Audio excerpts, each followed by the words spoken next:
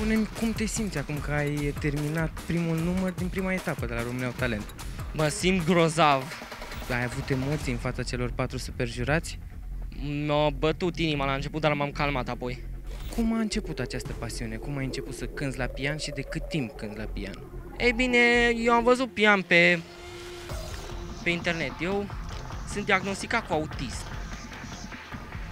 Și am văzut pe am văzut videoclipuri cu pian și îmi îmi părea interesant. Apoi, după câțiva ani, când am plinit 3 ani, am, mi-a cumpărat mama un pian, a- se deschidea ușa și în scară am văzut o pianină.